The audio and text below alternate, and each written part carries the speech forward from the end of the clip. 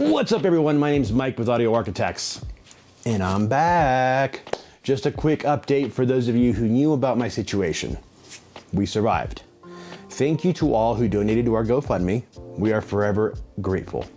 Going through the ordeal we went through, I honestly think it was living for those few weeks in the unknown that really hit us hard.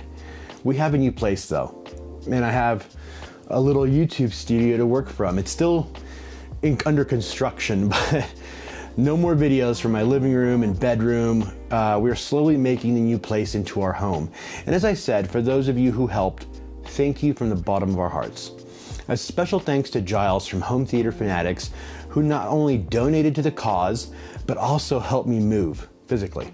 So, sir, you're a legend.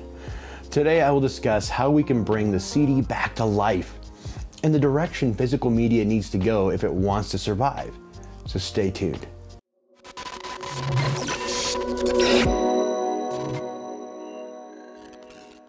For many years now, streaming has had a monopoly on the daily consumption of music.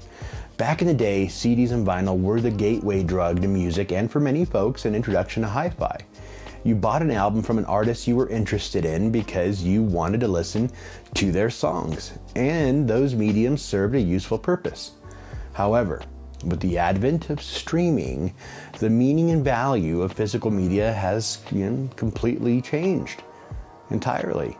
With streaming at the fingertips of millions of people and molding our new generation, physical media has become increasingly obsolete people are having trouble wrapping their heads around the notion that for what they pay for with just one album via CDs or vinyl, they can instead, you know, just pay a monthly subscription and have access to millions of songs. My issue with this is there isn't a sense of ownership with the music.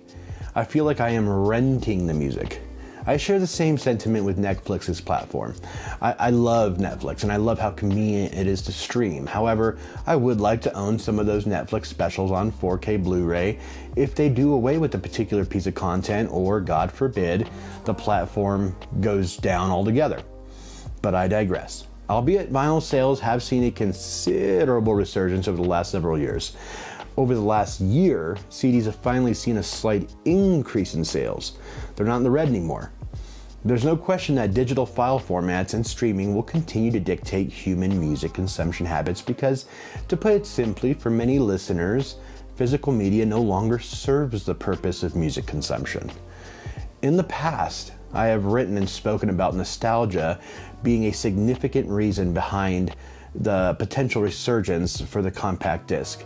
However, that isn't enough to make CDs relevant again.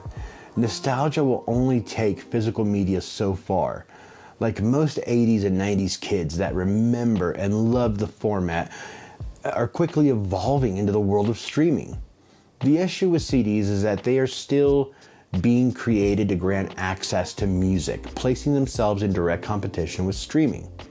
The CD will unfortunately lose this battle. There is one solution that may work.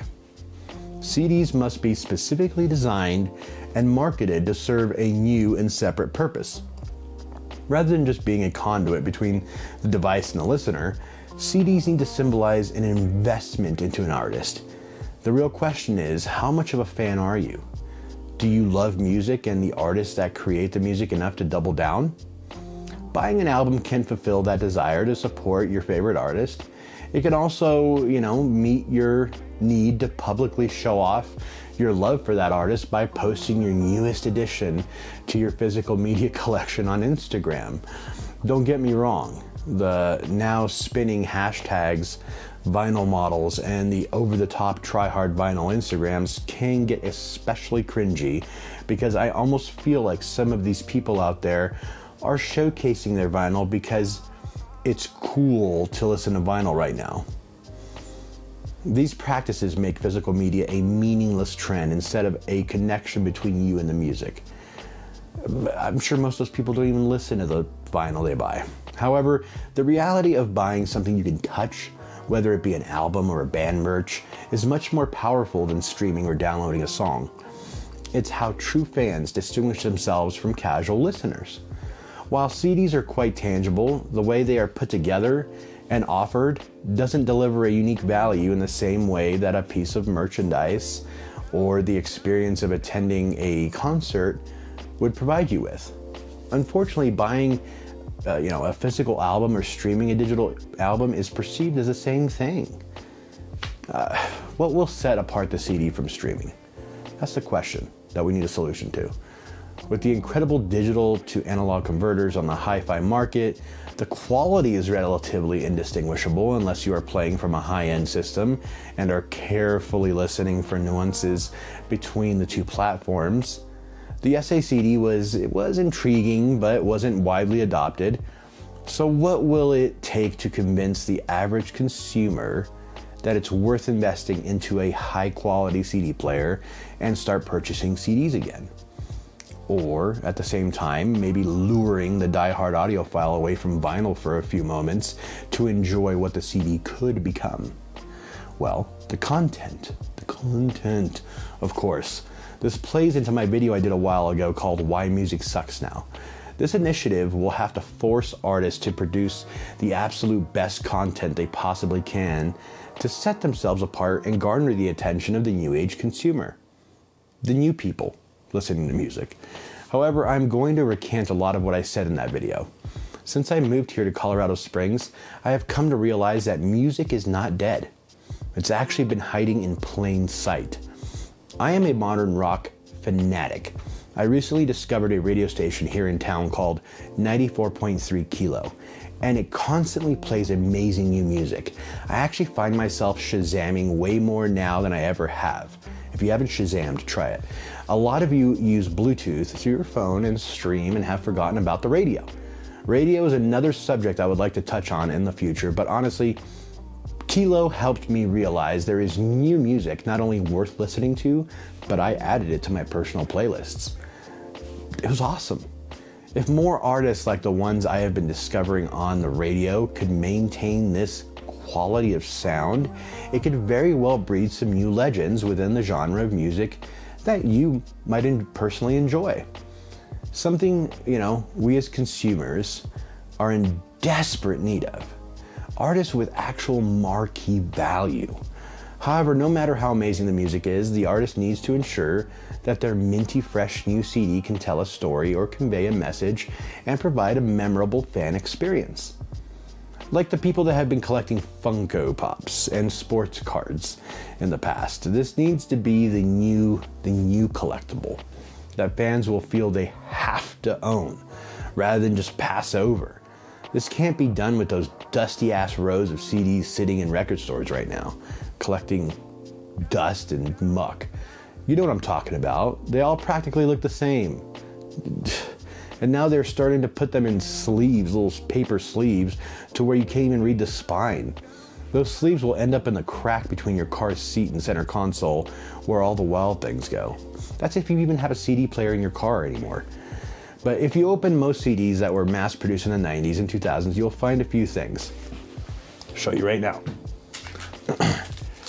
you will find a flimsy plastic case, a CD, and a booklet that will have some decent cover art, but inside it just feels like you're watching the credits after the movie. Don't get me wrong, I respect those who put together the production, but the consumer wants something special. They don't want credits, they don't want to read credits the whole experience has become rather underwhelming and lacks any type of real value. This is an opportunity to put something special in the booklet. Tell your story, share your message, give some exclusive behind the scenes photos, tour shots, something that fans can't get via streaming. I'll be honest, the cover art looks really nice on my Cambridge Evo 150 or up on the TV screen, so you can't really say the cover art is the reason to buy CDs, but why not do like variants like Funko does? Have a chase version or of a limited edition CD that is difficult to find with different versions featuring alternate art, or maybe one of those trading cards containing a piece of, you know, cloth or something from a show or a guitar pick or an autograph. There are many different ways and creative ways to give back to the fans. And that's what you need to do is give back to the fans.